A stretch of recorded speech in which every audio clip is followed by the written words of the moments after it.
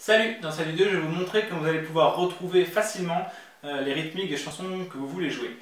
Ce que vous devez savoir d'abord, c'est que vous devez maîtriser parfaitement donc, les rythmiques à la main droite, que ça doit être euh, intégré, qu'il n'y ait pas de souci avec ça, que vous arriviez déjà en fait à jouer euh, des rythmiques. Pas forcément celles qui correspondent à vos chansons, puisque le but sera de les retrouver, mais qu'il n'y ait pas de souci avec le mouvement, que vous maîtrisez bien l'aller-retour dans différents débits, et que ce soit euh, clair avec ça parce que si vous ne maîtrisez pas encore bien ça, vous n'allez pas savoir quand commence la rythmique, quand est-ce qu'elle se finit, quand est-ce qu'on va devoir, euh, parce que vous ça, quand est-ce qu'on va devoir trouver des mouvements joués et pas joués, et du coup ça va être beaucoup plus dur pour vous, même si je vais tout détailler étape par étape, hein, j'ai créé une sorte de, procédure si on veut, pour réussir à retrouver euh, très facilement les rythmiques. Il y a juste à suivre les étapes et à la fin vous avez votre rythmique. Mais si vous n'êtes pas à l'aise avec les rythmiques, ça va être beaucoup plus compliqué. Donc si ça c'est pas encore intégré, je vous conseille d'aller voir euh, mon programme Améliorer enrichir vos rythmiques. Vous allez tout comprendre et après ce sera beaucoup plus simple de euh, retrouver vos rythmiques. Donc il va y avoir euh, deux méthodes que je vais vous expliquer. Une première, on va plus se servir de l'oreille, donc on va faire de l'écoute pour réussir à donc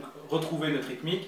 Et une deuxième, on va partir directement du jeu pour réussir à faire ça. Je vais vous proposer ensuite des exercices. Donc ces exercices, ça va être très simple.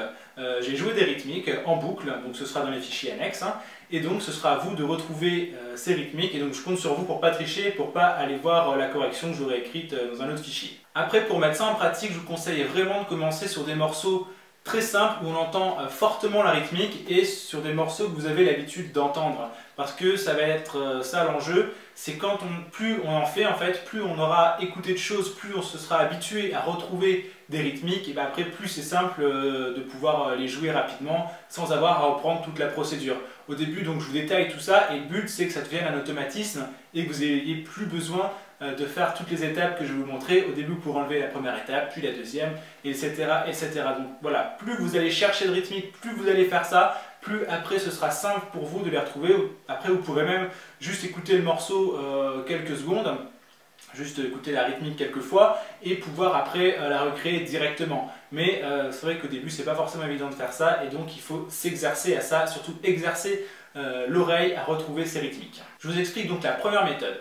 Ce qu'on va faire, c'est qu'on va prendre une feuille de papier et donc vous allez écrire euh, les flèches. Donc les flèches, vous savez, c'est ce que j'explique pour faire la rythmique, on va utiliser 8 ou 16 flèches selon euh, la vitesse du morceau. Donc si c'est euh, un morceau, une rythmique rapide, vous allez utiliser 16 flèches. Si c'est une lente, vous allez utiliser 8 flèches. Donc vous écrivez vos 8 ou vos 16 flèches sur une feuille de papier, donc jamais deux dans le même sens, hein. c'est bas, haut, bas, haut, bas, haut, bas, haut si on a 8, et si on a 16 c'est double.